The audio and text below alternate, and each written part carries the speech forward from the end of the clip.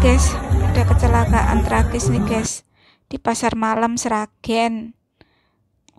Ada wahana permainan. Lah ini ada mbak-mbak yang masih remaja naik permainan gitu. Akhirnya dia terjatuh. Mungkin dia tidak berpegangan.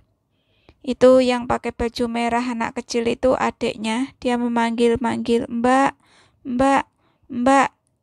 Dan akhirnya mbaknya tidak sadar jatuh pingsan. Kasihan sekali. Yang tadinya mau seneng, jadi senep. Itu ditolongin sama mas-masnya, mau dibawa ke rumah sakit. Semoga tidak kenapa-napa ya guys. Selamat.